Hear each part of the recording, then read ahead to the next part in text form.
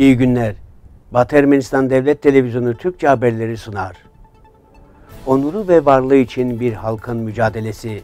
David Babyan, karşı tarafın askeri birliklerinde hareketlilik ve yığılmalar mevcut.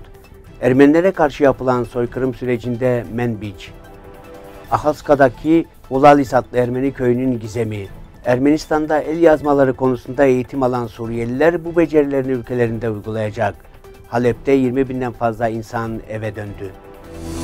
Batı Ermenistan Ermeni halkının onur ve var olma mücadelesi şimdi oluşturulmuş olan Batı Ermenistan Ermenileri Konseyi'nin yapısı tarafından formüle edilen kendi ulusal yeniden inşasını yaşıyor. Batı Ermenistan Ermenileri Konseyi 2005 yılından itibaren faaliyet yürütmekte ve soykırımdan kurtulan Ermenilerin mirasçılarını bir araya getirmektedir ki büyük bir kısmı sürgün edilerek dünyanın dört bir yanına yayılmışlardır. Batı Ermenistan Ermeni halkının onur ve var olma mücadelesi şimdi oluşturulmuş olan Batı Ermenistan Ermeni halkının onur ve var olma mücadelesi şimdi oluşturulmuş olan Batı Ermenistan Cumhuriyeti devlet yapısıyla ki seçilmiş bir başkanı, kendi hükümeti ve seçimle oluşturulmuş parlamentosuyla kendi ulusal yeniden inşa yolunda ilerlemektedir. Batı Ermenistan Ermeni halkının onur ve var olma mücadelesi kendi ulusal yeniden inşa yolunda ilerlemektedir ki şimdilerde oluşturmuş olan yapısı Batı Ermenistan'daki tüm Ermenileri Batı Ermenistan devletinin vatandaşları olmaya olanak sağlamaktadır. Bu Ermeni devleti bağımsız bir devlet olarak Batı Ermenistan bölgesinde 19 Ocak 1920'de tanınmıştır. Lidya Margosyan'ın makalesinin tamamını Batı Ermenistan Cumhuriyeti'nin resmi sitesinden izleyebilirsiniz. Arsak Cumhuriyeti Devlet Başkanı'nın basın sekreteri David Babyan, Ermenistan Cumhuriyeti Başkanı Nikol Paşinyan'ın son birkaç yıl içinde son derece düşük ateşkes anlaşmazlığı ihlallerine rastlamaktayız sözüne, evet bazı bölgelerde ateşkes ihlalleri az görülmektedir fakat karşı tarafın askeri birliklerinde hareketlilik ve yığılmalar söz konusudur şeklinde cevap verdi. Babyan silahların sesindeki azalmalar karşı tarafın kendi bakış açısını değiştirdiğinden ya da daha kibar olduğundan değil, sadece bazı taktik ve stratejik koşulları dikkate aldığındandır.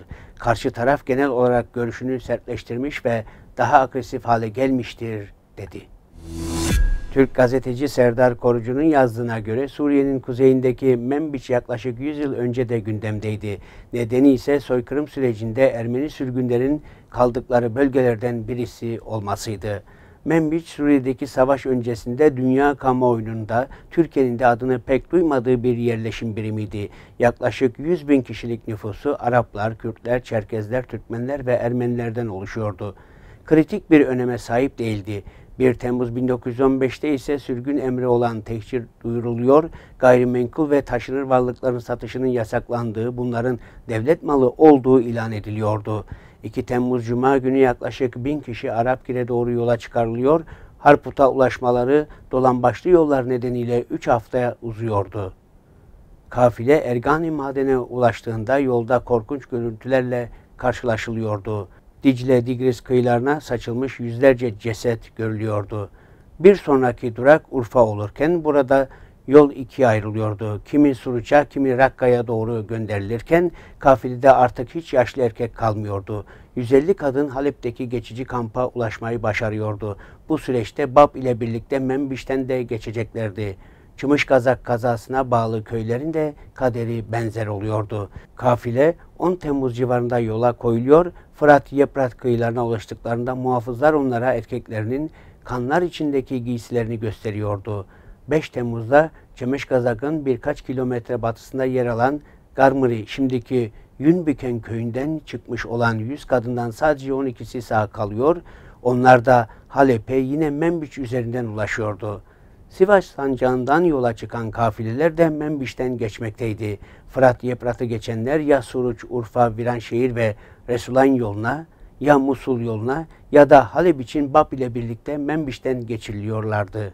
Membiç, Ermenilere karşı yapılan soykırımdan kurtulanların hatıralarında yer alacaktı. Yokluk ile anılarak. Samtsıkhe Çavak'taki Ahalska bölgesinin Holalis köyünün yeni inşa edilmiş şapelin altında yeraltı tünelleri bulunuyor. Tüneller köy yakınında bulunan kaleye çıkıyordu. Bu tünelleri köylüler güvenlik gerekçesiyle kapatmışlar. Hulalis köyü Cavak bölgesinin en eski yerleşim yerlerindendir. Köylülere göre Hulalis Orta Çağ'da Cavahk'ın Ermenilerle yoğun bir köyüydü.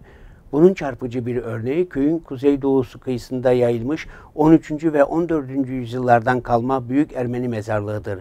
Bazı verilere göre 1830 yılında Erzurum eyaletinden buraya göç olmuş. Deprem nedeniyle yakındaki kaleden eser kalmadı. Fakat şapelin altında bulunan tünelleri halk bu kaleyle ilişkilendiriyor. Aynı bölgede bulunan köy kilisesinden bugün pek bir şey kalmış değil. Kilise avlusunda bulunan koç şeklindeki mezar taşı, Haçkarların kalıntıları ki bunlar yeni inşa edilen şapele taşındılar. Suriyeli uzmanlar Ermenistan'da öğrendikleri el yazmaları ve belgeleri koruma ve onarma becerilerini kendi ülkelerindeki kültürel değerleri kurtarmada kullanacak. 26 Haziran'da UNESCO çerçevesinde Ermenistan'a gelen ve eski el yazmaları müzesi olan Madenataran'daki çalışanlar tarafından verilen eğitim kursunu tamamlayan Suriyeliler sertifikalarını aldı. Eski El Yazmaları Müzesi olan Madenataran'ın restorasyon bölüm başkanı Gayane Elyazyan bu eğitim kursu kültürün milliyet ve sınırlarının olmadığını bir kez daha ispatladı. Kurs ilginç soru ve cevaplarla çok yoğun geçti dedi. Madenataran'ın müdürü Vahanter Revontyan'a göre ise UNESCO programı çerçevesinde gerçekleştirilen çok iyi işbirliğinin bu ilki değil. Eğitim kursu UNESCO'nun Suriye Kültürel Mirasının Acilen Korunması Programı çerçevesinde 22 Haziran'da gerçekleştirildi. Halep eyaletinin güneybatı kısmında 20 binden fazla insanın bölgenin militanlardan temizlenmesinden sonra evlerine geri döndüğü haberini yerel şeyh Abdullah Dandal bildirdi. 7 yıl önce silahlı militanların buraya gelmesiyle birlikte burada yaşayan insanlar evlerini terk etmek zorunda kalmıştı. Bölgenin temizlenmesinden sonra Suriye hükümeti Rus askerlerinin yardımıyla sivil yaşamı hayata geçirmeyi öngörmektedir. İlk olarak yerel makamlar yerleşimler arasında uzanan tüm yollara incelediler ve gerekli olan yerleri restore ettiler. Daha sonra düzenli gıda maddeleri tedarik edildi ve elektrik şebekeleri onarıldı. Şu anda konutların restorasyonu devam ediyor. Bugün için bu kadarını öngördük. Şimdi size Levon İspiryan tarafından seslendirilen Kankara Vorenger adlı eseri sunuyoruz. Kankara Vorenger ins Minachen zieh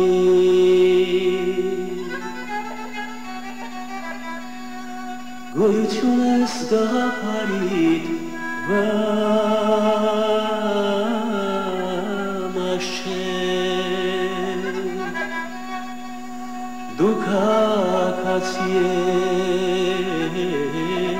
есть, есть иракам цил, им банчаре у ханчарин венашче,